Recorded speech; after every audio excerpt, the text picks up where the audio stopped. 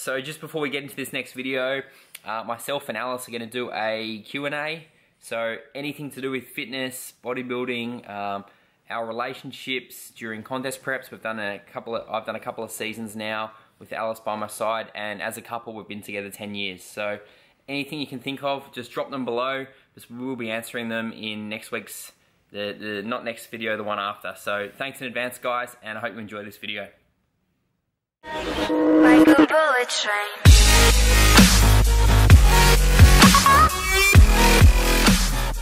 It is Wednesday morning now, uh, smack bang on 9 a.m. Just got little little Louie here. We're just gonna go up to the dog park. Um, but it's Wednesday. This video will probably come out. I'd say Saturday, realistically. So um, midweek. But I'll just let you guys know what I'm what I've what I've been doing for the past few days. Um, so a lot a lot of work this week, to be honest. Um, I've been so you guys know I'm a personal trainer um, and I do the online coaching as well. Um, in the past, so I've been at this this gym I'm at now for coming up to a year pretty much. It's a year since the Muscle Mayhem last year. So that means I've been at this job about 11 months. Um, before that, I was managing another gym.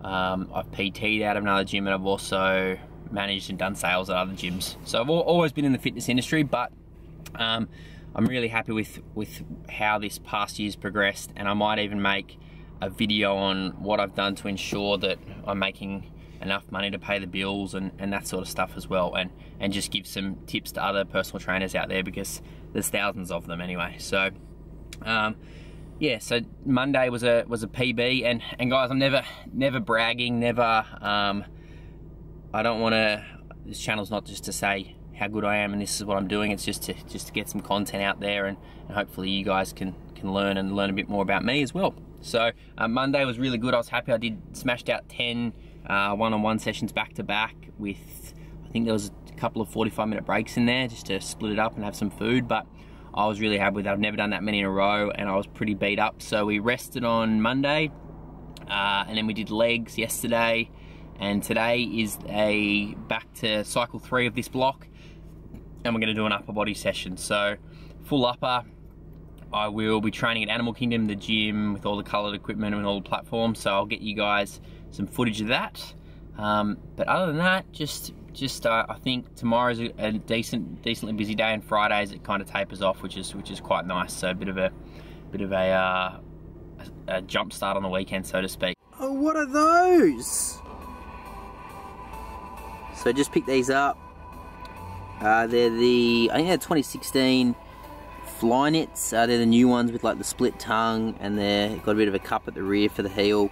Um, I've kind of always, I guess always seen them, other people wear them and to be honest, when I when I first saw them, whoa, zooming in. When I first saw them, I wasn't over the moon about uh, the knitted, the whole knitted thing, but the minute I tried them on, um, they kind of, yeah, I knew I, I got to have them just for work because they're so comfortable. So, got these, um, they're at 180, so not too bad. I got a bit of a discount as well for being a personal trainer, which is always nice. Um, so got these on now, so these are going to be my daily shoes. Um, obviously won't train legs in them, but for upper body and work, it's perfect. I wanted to speak a little bit more about um, the optimal time to have an off season. I I know you see people put up photos and everyone's like, oh, everyone's making gains, you, are looking good, um, that sort of stuff. But my honest thoughts are, as a natural athlete, I feel you need minimum two years between shows, and that's say you compete in July, July say 2016, you wouldn't compete again until 2018 July, only because I feel that the minute you get off stage, you've got realistically three to four months before, even if you get back heavy on the on the food, um, and your your hormones and all your all your energy levels feel good, your, your body feels good, I still realistically think it's, it's three to four months before you're back into some heavyweight training where you were before you started prep. Um, and then I think those next two months you're going to be building momentum. So then say say six months is gone, and then add a year to that of, of actual being in a surplus. So you've got a year, and then you need six months to prep again realistically to be or you, know, you don't need six months to be bone shredded, but you want to allow yourself a lot of time. So when you break it down like that, two years isn't a whole lot. Um, so I know for myself, I competed last July, and I'm going to do um, July 2018. So I'm gonna have three years between shows and it's been exactly a year since my last one, the Muscle Mayhem, uh, a year on Saturday or Sunday, I believe.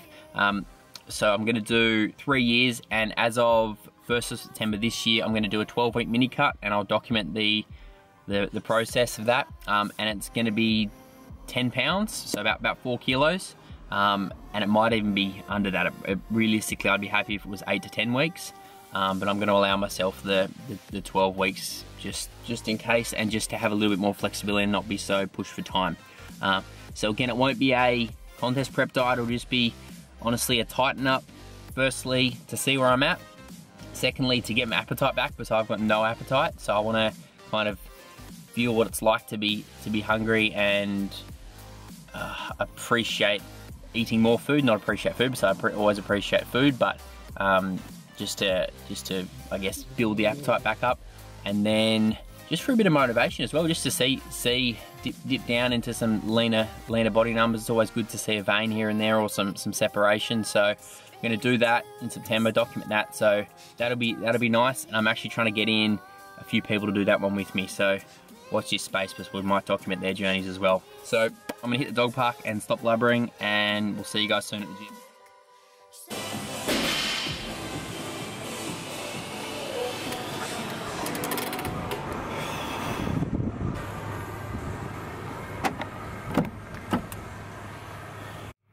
Whew. So we just finished up that workout. Uh, pretty good, pretty good. Really loving this gym. Uh, so back at this Animal Kingdom gym where I used to train and I love, I really like filming in there just because the lighting, it's got, it's got really high ceilings. So there's no, there's none of this really fake, fake lighting. It's all natural lighting. There's half, half the gym's kind of open. So you get it, sorry, you get it um coming through the windows there. Um, it's just nice, nice environment, especially middle of the day it's now it's now 1:45. Um, so middle of the day, you're just quiet and got a good session in. So all in all, pretty good. My left pec was where I've had some issues in the past was a bit tight, so I played it safe. And what I did was instead of doing five sets of chest press, I just did three, and it was it was to be honest, it was it was really really pumped.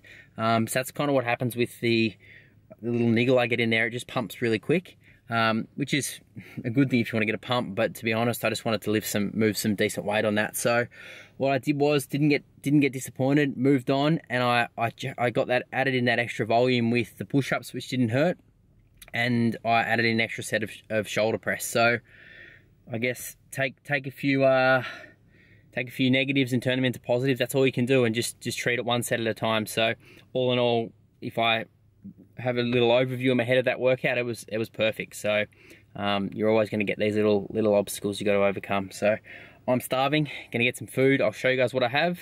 Let's get home.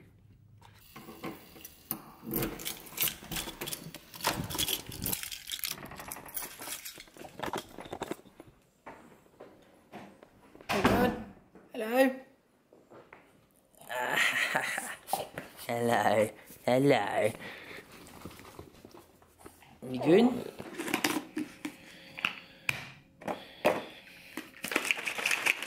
So guys, a post-workout meal here. Um, quick and easy one. Two scoops of salted caramel uh, whey protein. Um, just 100% whey, pretty low carb, low fat. I've got a caramel theme going on here. So I've got a caramel and pretzel cookie. Already had a bite. And then we're gonna have one jazz apple. So Macros, you're looking at probably 50 protein, I'd say 20, probably 40 carb, and then maybe 12 or 13 grams of fat. So pretty good little post-workout meal. Let's say about 500 calories.